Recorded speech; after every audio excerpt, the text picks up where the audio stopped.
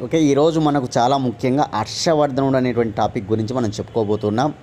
హిస్టరీలో చాలా వెరీ ఇంపార్టెంట్గా ప్రాచీన భారతీయ చరిత్రలో పుష్యభూతి వంశంలో అత్యంత గొప్ప చక్రవర్తి అయినటువంటి హర్షవర్ధనుడు గురించి మనం చెప్పుకుందాం. గుప్తులు పతనాంతరం ఉత్తర భారతదేశాన్ని ముఖ్యంగా ఐదు వంశాలు పరిపాలిస్తాయన్నమాట. ఈ ఐదు వంశాలు ఏమంటే కనుక పుష్యభూతి వంశం ఒకటి మౌకరి వంశం ఒకటి శశాంక వంశం ఒకటి మైత్రిక వంశం ఒకటి హూణులు ఒకరు. పుష్యభూతి వంశము మౌకరి వంశము శశాంక వంశము మైత్రిక వంశము హోనులు అనమాట ఈ పుష్యభూతి వంశ రాజధాని స్థానేశ్వర్ మౌకరి వంశస్థుల రాజధాని కనౌజు శశాంక్ వంశస్థుల రాజధాని గౌడ మైత్రిక వంశస్థుల రాజధాని వల్లభి అదే హూనులు అనేక ప్రాంతాలు వివిధ ప్రాంతాల్లో వాళ్ళు కూడా వాళ్ళు పరిపాలించారనమాట ఇక స్థానేశ్వర్ అంటే ప్రజెంట్ హర్యానా రాష్ట్రంలో ఉందన్నమాట. కనౌజ్ అనేది ప్రజెంట్ ఉత్తరప్రదేశ్ రాష్ట్రంలో ఉంది. గౌడ అంటే బెంగాల్ రాజ్యంలోని భాగం అనమాట వల్లభి అంటే గుజరాత్ రాష్ట్రంలో ఉన్నటువంటి ప్రాంతం అనమాట ఓకేనా? ఇట్లా ఐదు వంశాలు ఉన్నాయన్నమాట. ఎవరి పతనాంతరం? గుప్తుల పతనాంతరం అనమాట ఓకేనా? కానీ తర్వాత రోజుల్లో మళ్ళీ అత్యంత గొప్పగా ఎవరు పరిపాలిస్తారంటే మాత్రం గుప్తుల పతనాంతరం హర్షవర్ధనుడినే మనం చెప్పుకోవచ్చు. ఇటువంటి హర్షవర్ధనుడు ఏ వంశానికి చెందినవాడు ఇక్కడ? అంటే పుష్యభూతి వంశానికి చెందినవాడు. ఈ పుష్యభూతి వంశస్థుల రాజధాని స్థానేశ్వర్. స్థానేశ్వర్ అనేది ప్రస్తుతం హర్యానా రాష్ట్రంలో ఉన్నటువంటి ప్రాంతం అన్నమాట. సరే హర్షవర్ధన్ డీటెయిల్స్లోకి మనం వెళ్ళిపోదాం. ఎలా హర్షవర్ధన్ రాజయ్యాడు? హర్షవర్ధుని పరిపాలన కాలంలో ఓకేనా ఏమేమి ఉన్నాయి? ఆయన బిరుదులేంటి? ఆయన కాలంలో సాహిత్యం ఏంటి? ఆయన ఎటువంటి దాన ధర్మాలు చేశాడు? ఓకేనా అదేవిధంగా ఆయన చేసినటువంటి యుద్ధం ఏంటి? ఆ యుద్ధంలో విజయం సాధించాడా? ఓటమి సాధి ఓటమి పొందాడా? ఇట్లా హర్షవర్ధనుని కాలంలో అనేక విషయాల గురించి మనం ఇప్పుడు చూడాలి. ఓకేనా? రైట్. ఇప్పుడు చెప్పేటువంటి టాపిక్లో హర్షవర్ధనుడు ఎలా రాజు అయ్యాడు అనే విషయాన్ని మనం ఒకసారి చూడాలన్నమాట. హర్షవర్ధనుడు రాజు కాకముందు ఉన్నటువంటి విషయాలను ఇప్పుడు మనం చూస్తాం. అదేవిధంగా పుష్యభూతి అనేటువంటి వంశం గురించి తెలుసుకుంటాం. చూద్దాం. హర్షవర్ధనుడు ఏ వంశానికి చెందినవాడు అంటే పుష్యభూతి వంశానికి చెందినవాడు. పుష్యభూతి వంశ మూలపురుషుడు ఎవరంటే పుష్యభూతి. పుష్యభూతి వంశ రాజ్య స్థాపకుడు ఎవరంటే కనుక ఆదిత్యవర్ధనుడు. పుష్యభూతి వంశంలో పాలకులు మనం ఒకసారి చూస్తే ఆదిత్యవర్ధనుడు అతని తర్వాత ప్రభాకర వర్ధనుడు ప్రభాకర వర్ధనుడి తర్వాత అతని పెద్ద కుమారుడైనటువంటి రాజ్యవర్ధనుడు రాజ్యవర్ధనుడి తర్వాత అతని తమ్ముడైనటువంటి హర్షవర్ధనుడు. ఇట్లా పాలకులు మనకు కనిపిస్తారు నోట్ చేసుకోవాలి. ఇక పుష్యభూతి రాజ్య రాజధాని ఏది అంటే స్థానేశ్వర్ అనమాట ఇక పుష్యభూతి రాజధాని ఏది అని అడుగుతారు స్థానేశ్వర్. ప్రస్తుతం స్థానేశ్వర్ అనేది హర్యానా రాష్ట్రంలో ఉందన్నమాట. ఇక ప్రభాకర వర్ధనుడి కాలంలో హూన్ల దండయాత్ర జరగడం చేత పెద్ద కుమారుడైనటువంటి రాజ్య కు రాజ్యవర్ధనుడు చిన్న కుమారుడైనటువంటి హర్షవర్ధనుడు హూనులతో పోరాడుతూ ఉండగా వారి తండ్రి ప్రభాకర వర్ధనుడు మరణిస్తాడనమాట ఇక్కడ ఏం జరుగుతుందంటే కనుక ప్రభాకర వర్ధనుడు రాజుగా ఉన్న కాలంలో హూన్లు దండయాత్ర చేస్తారన్నమాట హూనులు. ఈ హూనులతో తన ఇద్దరు కుమారులు కూడా పోరాడుతూ ఉంటారు. ఆ సమయంలోనే ఖచ్చితంగా ఇతను మరణిస్తాడనమాట ఓకేనా? ఎవరు? ప్రభాకర వర్ధనుడు. ప్రభాకర వర్ధనుడు చనిపోయినాడు కాబట్టి తన పెద్ద కుమారుడైనటువంటి రాజ్యవర్ధనుడు రాజు అవుతాడనమాట రాజ్యవర్ధనుడి యొక్క తండ్రి ఎవరంటే ప్రభాకర వర్ధనుడు రాజ్యవర్ధనుడి యొక్క సోదరుడు ఎవరంటే సోదరుడు హర్షవర్ధనుడు. రాజ్యవర్ధనుడి యొక్క సోదరు ఎవరంటే కనుక సోదరి రాజ్యశ్రీ గుర్తుపెట్టుకోవాలి. రాజ్యవర్ధనుడి యొక్క తండ్రి ప్రభాకర వర్ధనుడు రాజ్యవ రాజ్యవర్ధనుడి యొక్క సోదరుడు హర్షవర్ధనుడు. రాజ్యవర్ధనుడి యొక్క సోదరి రాజ్యశ్రీ అనమాట నెక్స్ట్ రాజ్యవర్ధనుడు తన సోదరి రాజ్యశ్రీకి మౌకరీ వంశస్థుడైనటువంటి కనవోజ్ పాలకుడైనటువంటి గృహపరమానికి ఇచ్చి వివాహం చేయించడం జరుగుతుందన్నమాట. కానీ అతను రాజైన తర్వాత తన సోదరైనటువంటి రాజ్యశ్రీకి మౌకరి వంశానికి చెందినటువంటి గృహవర్మానికి ఇచ్చి వివాహం చేయిస్తాడనమాట. ఈ సమయంలోనే మాల్వా పాలకుడు దేవగుప్తుడు మాల్వా పాలకుడు దేవగుప్తుడు గౌడ శశాంకుని సహాయంతో ఎవరి సహాయంతో? గౌడ శశాంకుని సహాయంతో ఈ కనౌజ్ పాలకుడైనటువంటి గృహవర్మన్ను అంతమొందించడం జరుగుతుందన్నమాట ఓకేనా? సోదరుడు రాజ్యవర్ధనుడు ఏం చేశాడు? తన సోదరి రాజ్యశ్రీకి మౌకరి వంశస్థుడైనటువంటి గృహవర్మనికి వివాహం చేయించాడు. కానీ గృహవర్మను చంపేస్తారనమాట గృహవర్మను చంపింది ఎవరంటే కనుక గుర్తుపెట్టుకోవాలి దేవగుప్తుడు ఎవరి సహాయంతో అంటే కనుక గౌడ శశాంకుని సహాయంతో చంపేయడం జరుగుతుందన్నమాట. ఓకేనా? రైట్. రాజ్యశ్రీ ఆ సంఘటన తర్వాత అంటే తన భర్త చనిపోయిన తర్వాత ఆ సంఘటన తర్వాత మధ్య భారతదేశ అడవులకు వెళ్ళిపోతుంది. వెళ్ళి అక్కడ ఒక పెద్ద బౌద్ధ సన్యాసి అయినటువంటి దివాకర మిత్రుని ఆశ్రయిస్తుంది అనమాట దివాకర మిత్రుణ్ణి ఆశ్రయిస్తుంది అనమాట ఇక గృహవర్మన్ చంపబడ్డాడనేటువంటి విషయం తెలుసుకొని రాజ్యవర్ధనుడు స్థానేశ్వర్ చేరి కనౌజ్ పైకి దండెత్తి దేవగుప్తుడిని తరిమేస్తాడనమాట ఓకేనా దేవగుప్తుడిని అక్కడ ఉంటాడు కదా దేవగుప్తుడు ఆ దేవగుప్తుడిని తరిమివేసేయడం తరిమివేస్తాడనమాట ఎవరు? రాజ్యవర్ధనుడు. తరిమివేసిన అనంతరం తిరిగి స్థానేశ్వర్కి వస్తుండగా అతనిపై గౌడ శశాంకుడు హఠాత్తుగా దాడి చేసి రాజ్యవర్ధుడిని చంపేస్తారనమాట ఇక్కడ ఏం జరుగుతుందంటే కనుక ఓకేనా?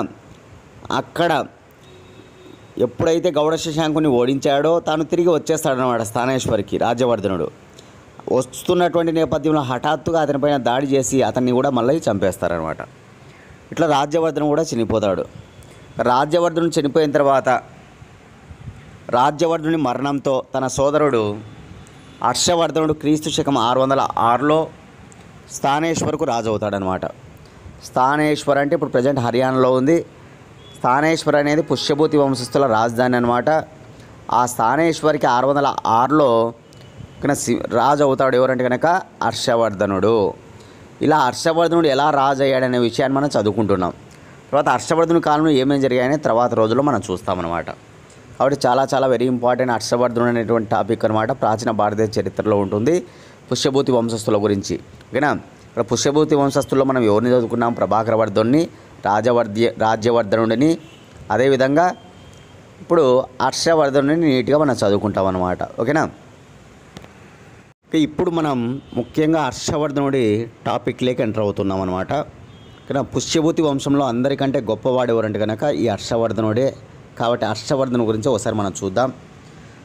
గుప్తుల అనంతరం ఉత్తర భారతదేశాన్ని పరిపాలించిన చక్రవర్తులలో అత్యంత గొప్పవాడు హర్షవర్ధనుడు అనమాట ఎవరి తర్వాత అంటే కనుక గుప్తుల తర్వాత భారతదేశాన్ని పరిపాలించిన చక్రవర్తులలో అత్యంత గొప్ప చక్రవర్తి మన హర్షవర్ధనుడు అనమాట హర్షవర్ధనుడి యొక్క పరిపాలన కాలం ఆరు వందల ఆరు నుంచి ఆరు వందల నలభై ఏడు వరకు అనమాట అంటే తన యొక్క సోదరుడు రాజ్యవర్ధనుడు చనిపోయిన తర్వాత సింహాసనాన్ని అధిష్ఠిస్తాడు ఎవరు?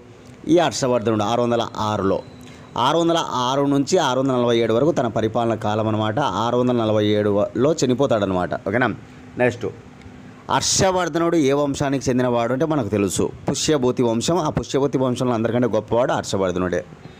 హర్షవర్ధనుడి యొక్క తండ్రి పేరు మనకు తెలుసు. కానీ ఆల్రెడీ మనం ముందు చూసాం ప్రభాకర వర్ధనుడు చూడండి ప్రభాకర వర్ధనుడికి ఇద్దరు కుమారులు ఒక కుమార్తె. ఎవరు ఇద్దరు కుమారులు అంటే కనుక ఒకరు రాజ్యవర్ధనుడు మరొకరు హర్షవర్ధనుడు. ఈ రాజ్యవర్ధనుడు హర్షవర్ధనుడు అనేటువంటి వీళ్ళిద్దరు కూడా హూనులతో దండయాత్ర చేస్తున్న నేపథ్యంలోనే ఆ ప్రభాకర వర్ధనుడు చనిపోవడం జరుగుతుందన్నమాట. కాబట్టి ప్రభాకర వర్ధనుడి యొక్క కుమారుడే అనమాట ఎవరు? ఈ హర్షవర్ధనుడు. నెక్స్ట్ హర్షవర్ధనుని యొక్క తల్లి పేరు యశోమతి దేవి. తండ్రేమో ప్రభాకర వర్ధనుడు తల్లి యశోమతి దేవి. హర్షవర్ధనుడి యొక్క సోదరుడు రాజ్యవర్ధనుడు. తండ్రి ప్రభాకర వర్ధనుడు తల్లి యశోమతి ఇక ఇక సోదరుడు రాజ్యవర్ధనుడు. రాజ్యవర్ధనుడు అనంతరమే ఇతను పరిపాలన స్టార్ట్ చేస్తాడనమాట నెక్స్ట్ హర్షవర్ధనుడి యొక్క సోదరి రాజ్యశ్రీ అనమాట మనకు తెలుసు రాజ్యశ్రీ భర్త కూడా చనిపోయాడు చంపేస్తారనమాట చంపింది ఎవరంటే కనుక గౌడ శశాంకుని సహాయంతో దేవగుప్తుడు చంపేస్తాడు. ఎవరిని? ఆ కనౌజ్ రాజు గృహవర్మన్ అనమాట ఆ కనౌజ్ రాజు గృహవర్మన్ భార్యనే ఈ ఎవరు? కనౌజు రాజు గృహవర్మన్ భార్యనే రాజ్యశ్రీ అనమాట కాబట్టి సోదరి రాజ్యశ్రీ అనమాట ఎవరికి సోదరి? హర్షవర్ధనుడి యొక్క సోదరి రాజ్యశ్రీ అనమాట ఓకేనా? ఇక హర్షవర్ధనుడు రాజ్యశ్రీని కాపాడి మాల్వారాజు దేవగుప్తుడిని అంతమొందించి ఆక్రమించిన ప్రాంతమే కనౌజ్ అనమాట ఏనా చూడండి కనౌజ్ను ఆక్రమించింది ఎవరంటే కనుక దేవగుప్తుడు. ఎవరిని చంపి? ఆ రాజ్యశ్రీ భర్త గృహవర్మను అంతమొందించి కనౌజును ఆక్రమిస్తాడు దేవగుప్తుడు అనమాట కాబట్టి హర్షవర్ధనుడు రాజైన తర్వాత తనకు రెండు విషయాలు ఖచ్చితంగా చేయాల్సిన అవసరం ఉందన్నమాట. ఒకటి తన సోదరిని ఓకేనా? తిరిగి కనౌజులో పరిపాలకురాలుగా కూర్చోబెట్టాల. రెండు ఆ కనౌజును ఆక్రమించినటువంటి ఆ దేవగుప్తుడిని చంపేయాల.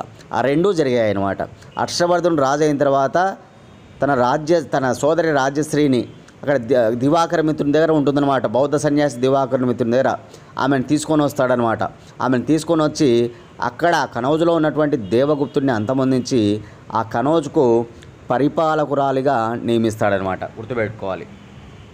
ఇట్లా రాజశ్రీ ఆరు వందల ఆరు నుంచి ఆరు వందల పన్నెండు వరకు కనౌజును పరిపాలిస్తుంది. గుర్తుపెట్టుకోవాలి. ఆరు వందల ఆరు నుంచి ఆరు వందల పన్నెండు వరకు కనౌజును పరిపాలించినటువంటి వ్యక్తి ఎవరంటే కనుక రాజ్యశ్రీ. ఎవరు రాజ్యశ్రీ అంటే రాజ్యవర్ధనుడి యొక్క సోదరి అదేవిధంగా హర్షవర్ధనుడి యొక్క కూడా సోదరి గుర్తుపెట్టుకోవాలి. సరే. హర్షవర్ధనుడి యొక్క సోదరి రాజ్యశ్రీ కనౌజును పరిపాలించిన కాలం ఆరు వందల ఆరు నుంచి ఆరు వందల పన్నెండు వరకు. రాజ్యశ్రీ కనౌజును పరిపాలించిన తర్వాత ఆరు వందల పన్నెండు నుంచి కనౌజును పరిపాలించిన వాడు హర్షవర్ధుడే చూడ ఆరు వందల ఆరు నుంచి ఆరు వందల పన్నెండు వరకు ఏమో రాజశ్రీ పరిపాలిస్తుంది.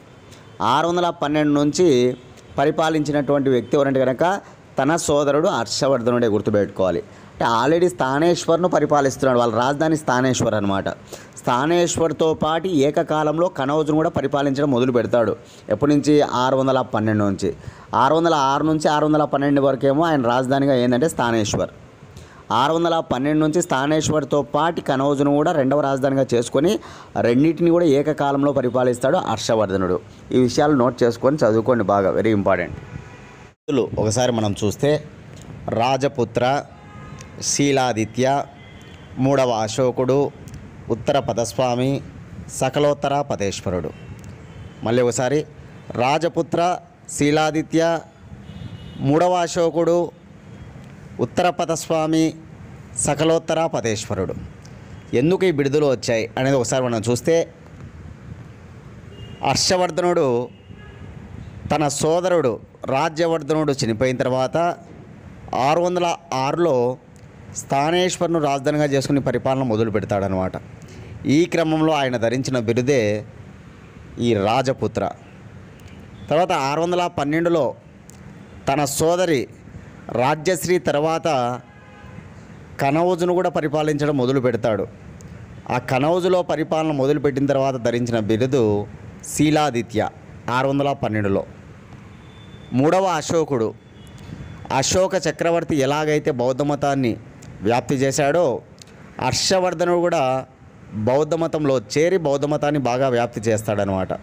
కాబట్టి అతన్ని మూడవ అశోకుడు అంటారు. రెండవ అశోకుడు కనిష్కుడు మూడవ అశోకుడు హర్షవర్ధనుడు. కనిష్కుడు బౌద్ధ మతాన్ని స్వీకరించి ఆయన అశోకుని వలె బౌద్ధ మతాన్ని వ్యాప్తి చేస్తాడు. హర్షవర్ధనుడు బౌద్ధ మతాన్ని స్వీకరించి అతను కూడా అశోకుడి వలె బౌద్ధ మతాన్ని బాగా వ్యాప్తి చేస్తాడనమాట. కాబట్టి కనిష్కుడినేమో రెండవ అశోకుడు అంటారు హర్షవర్ధనుడిని మూడవ అశోకుడు అంటారనమాట. నెక్స్ట్ ఉత్తర పథస్వామి అంటే ఉత్తర భారతదేశాన్ని పాలించినటువంటి శైవ మతస్థుడిగా ప్రసిద్ధి. శైవ మతానికి చెందిన వాళ్ళనమాట ఈ పుష్యభూతి వంశస్థులు.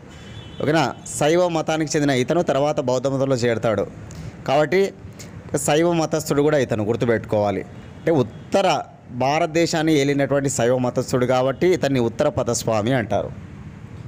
సకలోత్తర పతేశ్వరుడు చూడండి ఐహోల్ అనేటువంటి ఒక శాసనం ఉంటుంది. ఐహోల్ అనే శాసనాన్ని రవికీర్తి వేయిస్తాడనమాట రవికీర్తి వేసినటువంటి ఐహోల్ శాసనం అనేటువంటిది ఏం చెప్తుందంటే కనుక సకల ఉత్తర భారతదేశాన్ని పరిపాలించినటువంటి వాడు హర్షవర్ధనుడు అని చెప్తూ సకలోత్తర పతేశ్వరుడు అని టైటిల్ ఆ శాసనంలో వేయిస్తాడనమాట. కాబట్టి ఈ టైటిల్స్ అనేటువంటి ఎక్కడెక్కడ ఉన్నాయి ఏంటి దీని సంగతులు అనేది మనం చెప్పామన్నమాట. గుర్తుపెట్టుకోవాలి టైటిల్స్ వెరీ ఇంపార్టెంట్. రాజపుత్ర శీలాదిత్య మూడవ అశోకుడు ఉత్తర పదస్వామి సకలోత్తర పదేశ్వరుడు అనమాట హర్షవర్ధనుడు ప్రతి ఐదు సంవత్సరాలకు ఒకసారి జరిపినటువంటి సమావేశాలను ఏమని పిలుస్తారంటే మహామోక్ష పరిషత్తు అని పిలుస్తారు. మహామోక్ష పరిషత్తు ఎన్నేళ్ళకు ఒకసారి హర్షవర్ధనుడు జరిపించాడు అని కూడా అడుగుతారు.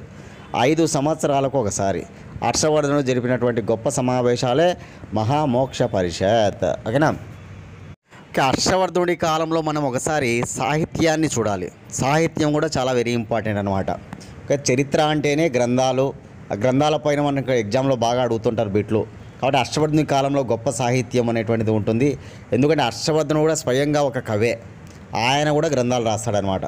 సరే హర్షవర్ధన్ రాసినటువంటి గ్రంథాలు ఏంటి? ప్రియదర్శిని నాగానందం రత్నావళి. హర్షవర్ధనుడు రాసినటువంటి ప్రముఖమైన గ్రంథాలు ప్రియదర్శిని నాగానందం రత్నావళి. ప్రియదర్శిని సంస్కృత భాషలో ఉంటుంది నాగానందం సంస్కృత భాషలో ఉంటుంది రత్నావళి సంస్కృత భాషలో ఉంటుందన్నమాట. హర్షవర్ధనుడి ఆస్థానంలో ఉన్నటువంటి ప్రముఖ కవి బాణుడు. బాణుడు రాసినటువంటి గ్రంథాలు బాణుడు రాసిన గ్రంథాలు హర్ష చరిత్ర కాదాంబరి లీలావతి పరిణయం సావిత్రి పరిణయం. హర్ష చరిత్ర కాదాంబరి లీలావతి పరిణయం పార్వతీ పరిణయం. ఇవి హర్షవర్ధుని ఆస్థానంలోని కవి బాణుడు రాసిన గ్రంథాలు సంస్కృతంలో అనమాట ఈయన ఒక సంస్కృత కవి అని గుర్తుపెట్టుకోవాలి. ఆయన రాసిన గ్రంథాలు హర్ష చరిత్ర కాదాంబరి లీలావతి పరిణయం పార్వతి పరిణయం. నెక్స్ట్ హర్షవర్ధనుడి ఆస్థానంలో ఉన్న మరొక కవులు ఓకేనా ఒక మరొక ప్రముఖమైనటువంటి కవులు ఇద్దరు ఉంటారు అనమాట మెయిన్ ప్రముఖ కవి బాణుడే. బాణుడితో పాటి కొంతమంది కవులు ఉంటారు. అందులో ముఖ్యమైన వాళ్ళు మయూరుడు భర్తృహరి.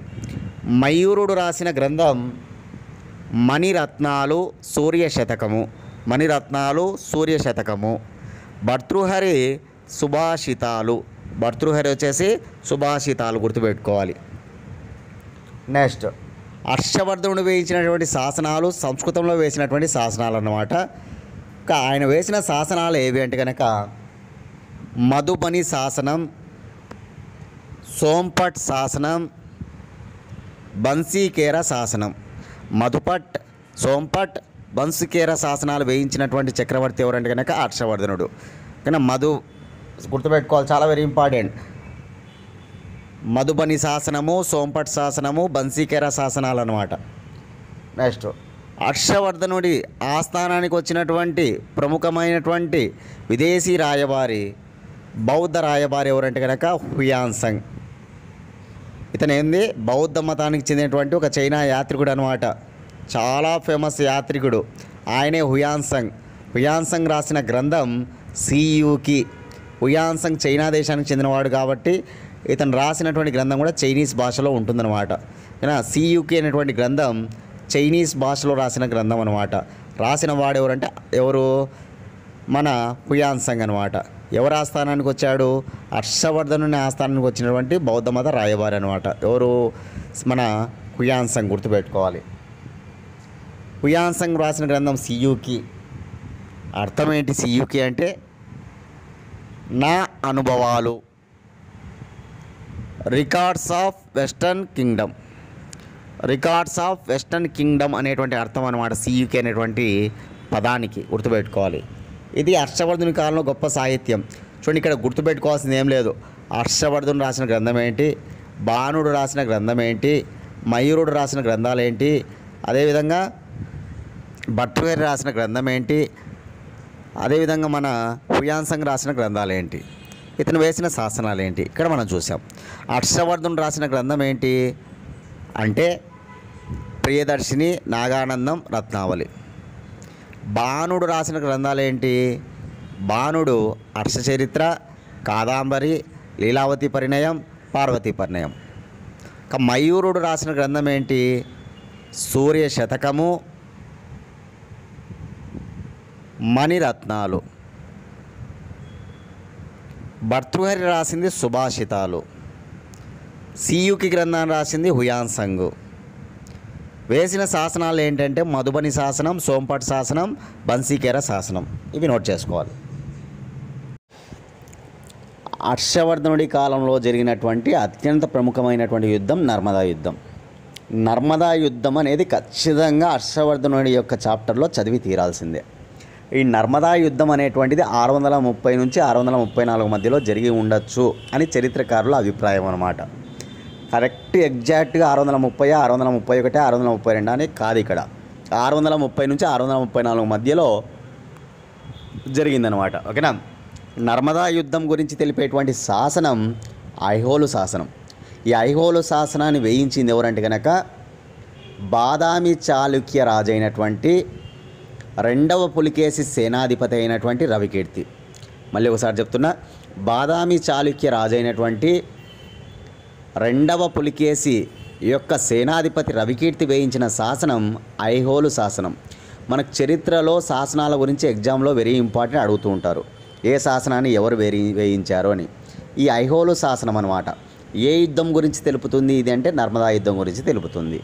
నర్మదా యుద్ధం ఏ సంవత్సరం నుంచి ఏ సంవత్సరం మధ్య జరిగిందంటే ఆరు వందల ముప్పై నుంచి ఆరు వందల ముప్పై నాలుగు మధ్య జరిగిందనమాట ఓకేనా? రైట్. నర్మదా యుద్ధం గురించి తెలిపే గ్రంథం అయితే హర్షచరిత్ర హర్షచరిత్ర అనే గ్రంథాన్ని రాసింది ఎవరంటే కనుక బాణుడు రాస్తాడు. హర్షవర్ధనుడి యొక్క ఆస్థానంలో ఉన్నటువంటి ప్రముఖమైనటువంటి కవి బాణుడు రాసిన గ్రంథం హర్షచరిత్ర. హర్షచరిత్ర అనే గ్రంథం కూడా ఏ యుద్ధం గురించి తెలుపుతుంది? నర్మదా యుద్ధం గురించి తెలుపుతుంది అనమాట నర్మదా యుద్ధంలో విజయం సాధించింది ఎవరంటే కనుక బాదామి చాళుక్య రాజు అయినటువంటి రెండవ పులికేసి. అంటే దక్షిణ భారతదేశ రాజు అనమాట హర్షవర్ధనుడేమో ఉత్తర భారతదేశంలో అత్యంత గొప్ప రాజుగా ఉన్నాడు. దక్షిణ భారతదేశంలో బాదామి చాళుక్య రాజులలో అందరికంటే గొప్పవాడు రెండవ పులికేశి అనమాట ఆ రెండవ పులికేసి ఓడించాడంట. ఎందుకంటే హర్షవర్ధనుడు అంటే కన్నా చాలా గొప్ప రాజు అనమాట అంత గొప్ప రాజును మన దక్షిణ భారతదేశ రాజు ఓడించాడు కాబట్టి ఎగ్జామ్లో వెరీ ఇంపార్టెంట్ ఇది. నర్మదా యుద్ధం. కానీ ఎవరు ఓడించింది? రెండవ పులికేసి కానీ ఏ వంశానికి చెందినవాడు? బాదామి చాళుక్య వంశానికి చెందినవాడు అనమాట మన దక్షిణ భారతదేశ రాజు రెండవ పులికేశి. నర్మదా యుద్ధంలో ఓటమి పాలైనది ఎవరంటే హర్షవర్ధనుడు హర్షవర్ధనుడు. నర్మదా యుద్ధంలో ఓటమి పాలైనటువంటి హర్షవర్ధనుడిని ఐహోలు శాసనంలో తెలిపిన పేరేంటి? అంటే ఐహోలు శాసనంలో ఉన్నటువంటి అంశం ఏంటంటే కనుక సకలోత్తర పతేశ్వరుడు అని ఉందన్నమాట. ఏ శాసనంలో? ఐహోల్ శాసనంలో.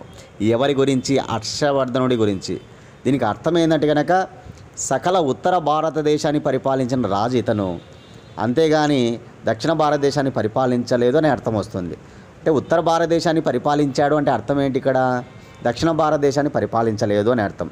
అంటే ఆటోమేటిక్గా అక్కడ సకల ఉత్తర భారతదేశాన్ని పరిపాలించాడంటే దక్షిణ భారతదేశం పైన ఆయన ఓటమి పొందాడనమాట అంటే ఎవరిపైన ఓటమి పొందాడు బాదామి చాళుక్య రాజు అయినటువంటి రెండవ పులికేసి పైన ఓటమి పొందినట్టుగా అక్కడ మనం అనుకోవాలి. ఏ శాసనంలో? ఐహోళు శాసనంలో. ఓకేనా? రైట్. నర్మదా యుద్ధంలో విజయం సాధించిన రెండవ పులికేసిని ఐహోలు శాసనంలో ఏమని పిలిచారంటే పరమేశ్వర అని పిలిచారు.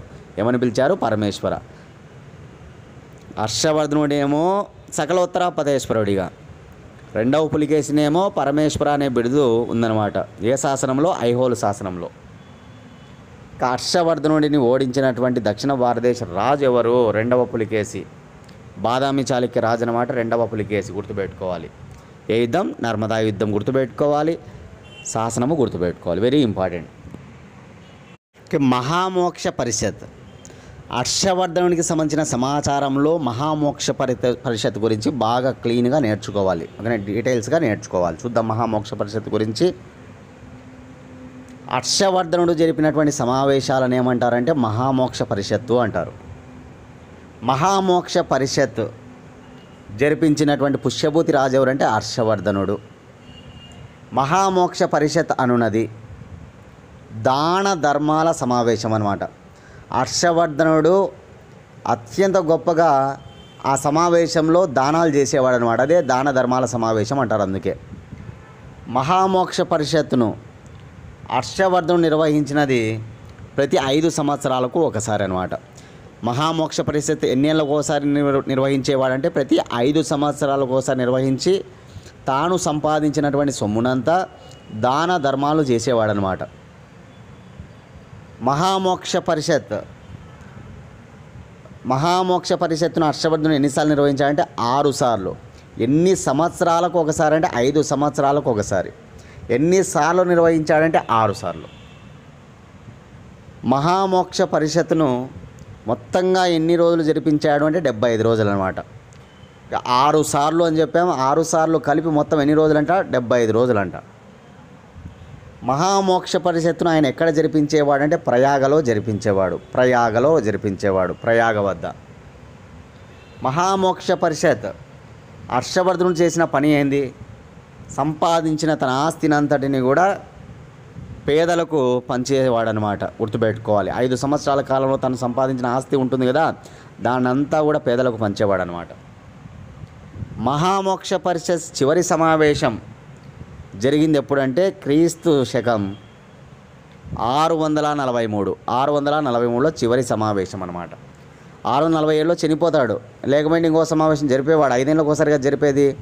ఐదేళ్ళ కంటే మళ్ళీ ఆరు వందల నలభై ఎనిమిది రావాలి. కానీ ఆయన చనిపోయింది ఆరు నలభై ఏడులో. కాబట్టి చివరి సమావేశం ఆరు నలభై మూడులో జరుగుతుందన్నమాట గుర్తుపెట్టుకోవాలి ఓకేనా? మహామోక్ష పరిషత్ చివరి సమావేశానికి అధ్యక్షుడు ఎవరంటే చైనా బౌద్ధ యాత్రికుడైనటువంటి హుయాన్సంగ్ అనమాట చైనా బౌద్ధ యాత్రికుడు చాలా ఫేమస్ యాత్రికుడు ఆయన. ఆయనే హుయాన్సంగ్ అని గుర్తుపెట్టుకోవాలి. మహామోక్ష పరిషత్ హర్షవర్ధనుడు జరిపించడం ద్వారా కానీ దాన్ని అతన్ని ఏమని పిలుస్తారంటే గొప్ప దానశీలిగా దానకర్ణుడిగా పిలువబడ్డాడు అనమాట అంటే మహామోక్ష పరిషత్ జరిపి తాను సంపాదించిన సొమ్మునంతా ఆయన ఏం చేశాడంటే దానాలు చేసేవాడు అనమాట అందుకే అతను దానకర్ణుడు కర్ణుడితో పోలుస్తారు అనమాట దానకర్ణుడిగా. కర్ణుడితో ఎవరిని పోలుస్తారు ఏ రాజును పోలుస్తారంటే కనుక హర్షవర్ధుని పోలుస్తారు. చాలా వెరీ ఇంపార్టెంట్ మహామోక్ష పరిస్థితి గురించి గుర్తుపెట్టుకోవాలి. ఎన్ని సంవత్సరాలకు ఒకసారి? ఐదేళ్ళకు ఒకసారి. ఎన్నిసార్లు నిర్వహించాడు? ఆరు సార్లు ఎన్ని రోజులు నిర్వహించాడు? డెబ్బై ఐదు రోజులు. ఎక్కడ నిర్వహించాడు? ప్రయాగ వద్ద. నిర్వహించింది ఎవరు? ఓకేనా? హర్షవర్ధనుడు. దానిలో భాగంగా ఆయన ఏం చేసేవాడు? దానం చేసేవాడు. అందుకే ఆయన ధరించిన బిరుదేంటి దానకర్ణుడు. చివరి చివరి సమావేశానికి అధ్యక్షుడు ఎవరు? ఓకేనా? హుయాన్సంగ్ అనమాట చైనా బౌద్ధ బౌద్ధ యాత్రికుడు హుయాన్సంగ్ ఇవి గుర్తుపెట్టుకుంటే సరిపోతుంది.